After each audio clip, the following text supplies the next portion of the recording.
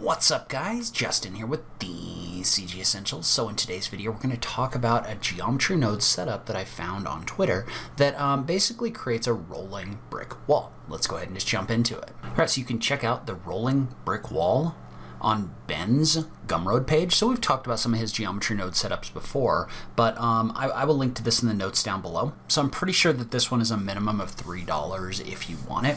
Um, I personally consider that to be just something where we're, we're uh, supporting somebody that's doing cool stuff with Blender, um, but you can also just kind of watch the video and see kind of what people are doing with the geometry node setup as well. And so when we open this up, it's going to default to this view right here. And so notice what we've got right now is we've basically got this keyframed animation in here that's set up where um, basically the location of the brick wall gets adjusted and the brick wall kind of like rolls away in the background. You're going to get the best view by going to rendered view, so you can hold Z and go into rendered view right here. But if you click play, notice what this is going to do is this is basically taking your brick wall and it's rolling it backwards, kind of like something you might see in like a Harry Potter movie or something like this.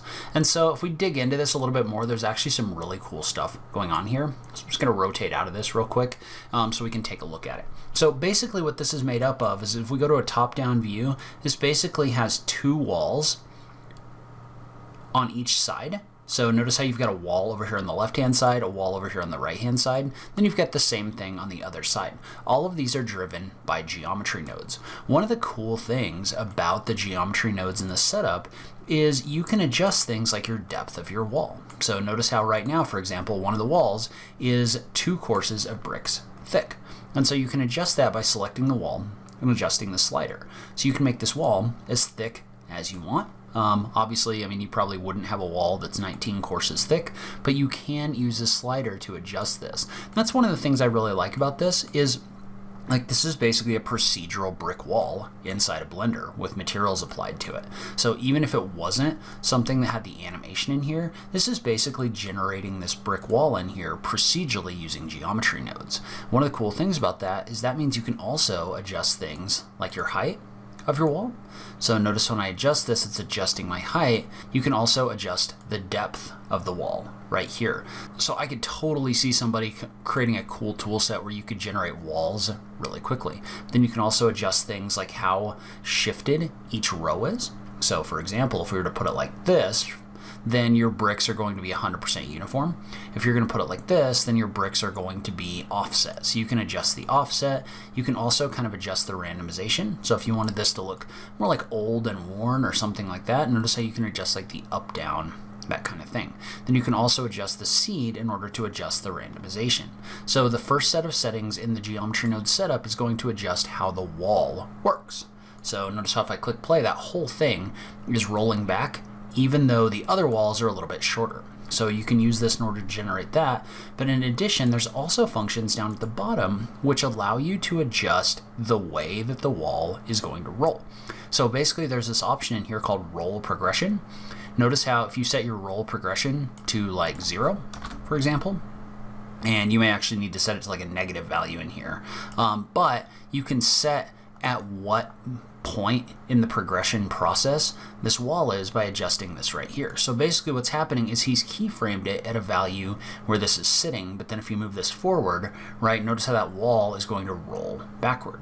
And one of the cool things about this is notice how what this is doing is this is rolling each row of bricks individually. Well, there's a function in here called roll noise that's going to set how uniform or not uniform that is. So if I was to set the noise to zero and then run this, right, then notice how you're going to get like this completely uniform brick look right here.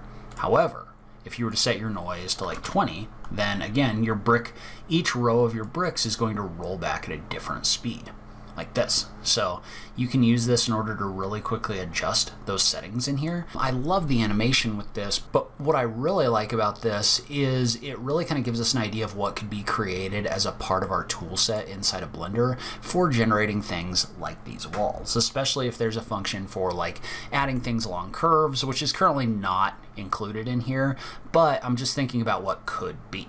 And then if you do decide that you want to look at the geometry nodes of this, you can go into the geometry node settings select these and see exactly how he has this set up, right? So he's got this group so you can see the way that the wall is rolling. Um, he's got this where you can see like the offset that's in here, the randomization, all those different things are contained inside of this like this. So you can see this, you can play around with this. Definitely something that in my opinion you should be at least aware of, um, that things like this are being created because I think they show a really bright future for what can be done in Blender. So I'll link to this setup in the notes down below. If you can go support guys like Ben, I definitely recommend that you do that because they're kind of driving the development of what can be done with things like geometry nodes. But I'd love to hear from you in the comments down below what you think about this setup. As always, thank you so much for taking the time to watch this and I will catch you in the next video. Thanks guys.